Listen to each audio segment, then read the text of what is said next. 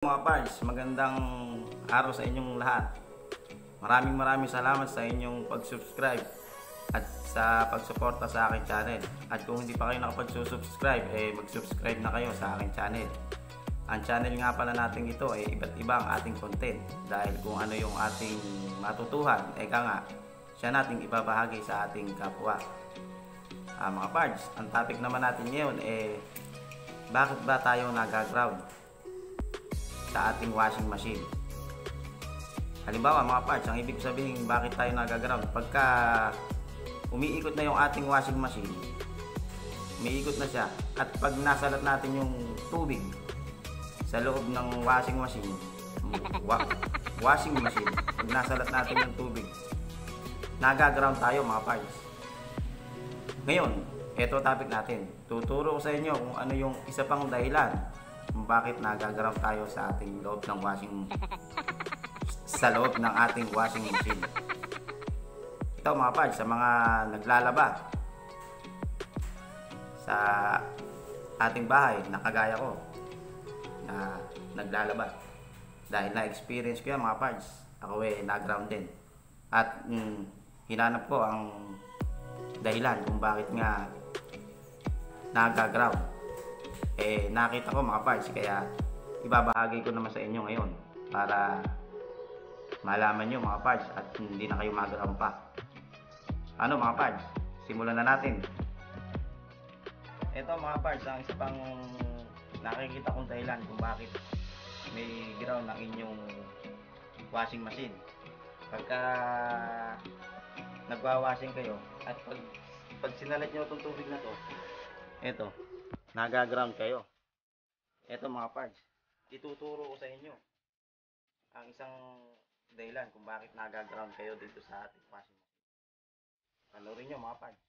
Ito mga parts, tatanggalin natin tong mga timer na to. Yung isang buong time, yung isang pinagkaanuhan ng timer, tatanggalin natin at ipapakita ko sa inyo kung bakit kayo nagaground dito sa sa tubig pagka umiikot na ang inyong washing machine. Nga mga parts, tatanggalin ko lang itong dilyo dito sa likod.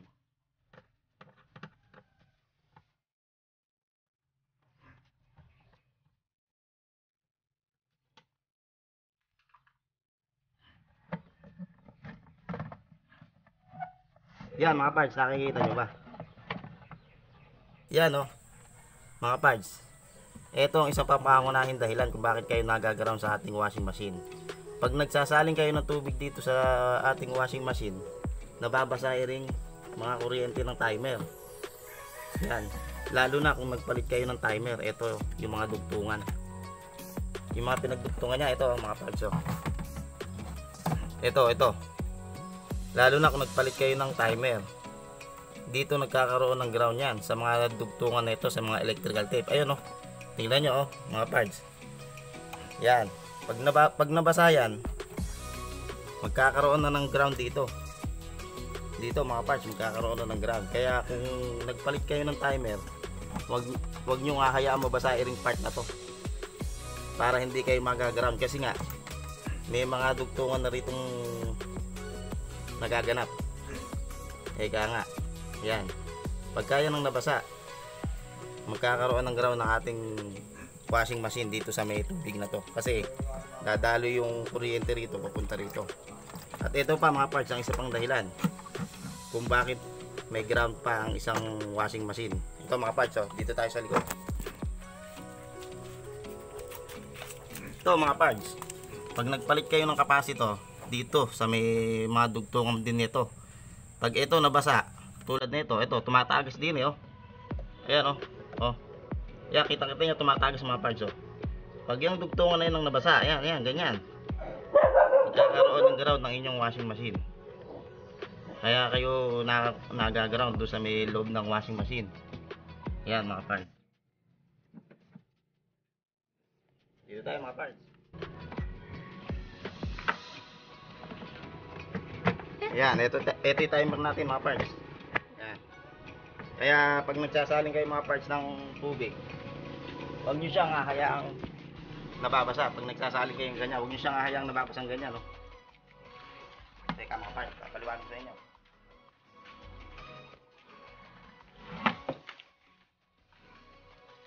Yan mga parts, pag nagsasaling kayo, huwag nyo hayaang nababasang ganyan, no? Yan, no? Yan, huwag nyo hayaang nababasang ganyan, yan. Kasi mga parts, yan, no? Yung loob niyan, mga parts, ma mapupunta yung tubig din, eh. Magkakaroon na ng ground dito, mga parts. Dito, sa tubig na to. Yan. Okay na, mga parts. Sana naintindihan nyo ang aking in-upload na video. Ah, kung hindi pa kayo nakapag-subscribe, mag-subscribe na kayo sa ating channel. Sabi ko nga, iba't iba ang ating content na ina-upload para kung ano yung ating na-experience at nat- natututunan, ibabahagi natin sa ating kapwa. Maraming salamat mga parts. God bless.